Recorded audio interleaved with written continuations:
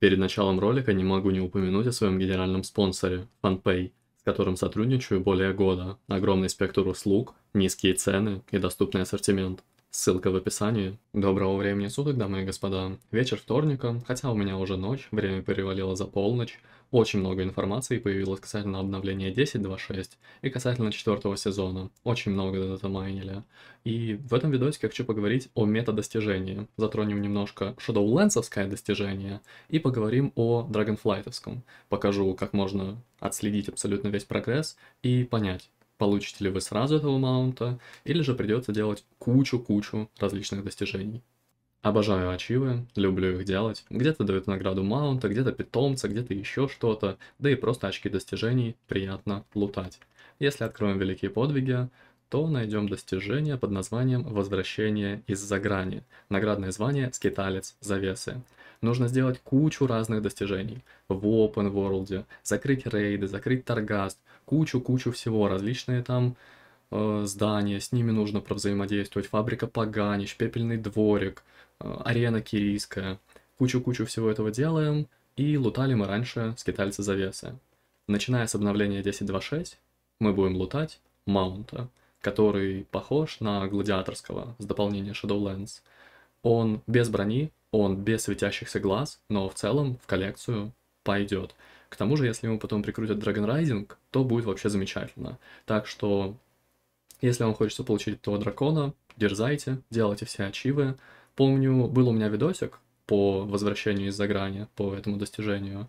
А, в описании к этому видосику кину тот мини-гайд. Уверен, вам будет это полезно. Новое драгонфлайтовское методостижение. В награду получаем маунта Тайван.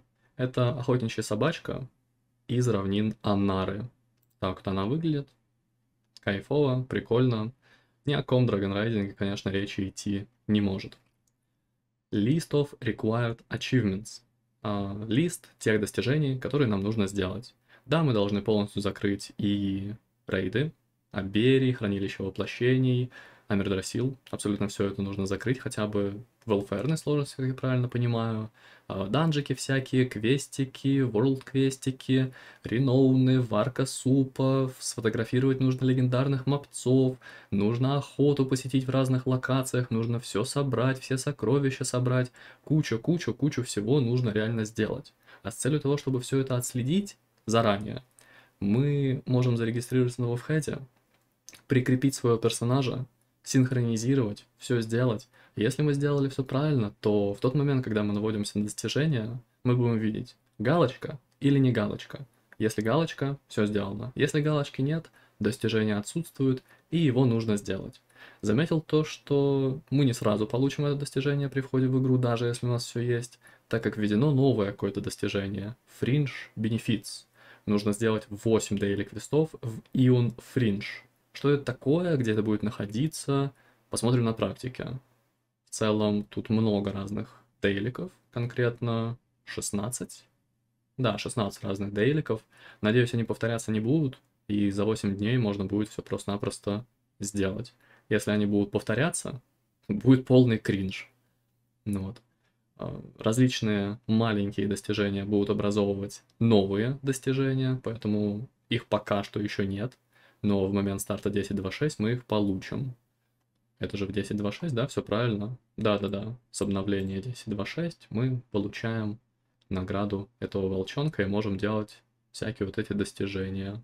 Окей, количество очков достижений повысится, контент Dragonflight станет более нужным. Если вы хотите лутать того маунта, то придется много-много всего сделать. Желаю вам в этом удачи. Ну а если есть вопросы по выполнению кода достижения, можно, конечно, открыть комментарий на вебхеде, ну или мне вопросик задать в комментариях к этому видосику или на стриме. На этом, пожалуй, все. Всех вам благ, счастья, здоровья, берегите ноги, мойте руки, не забывайте о ссылочках в описании. До скорого!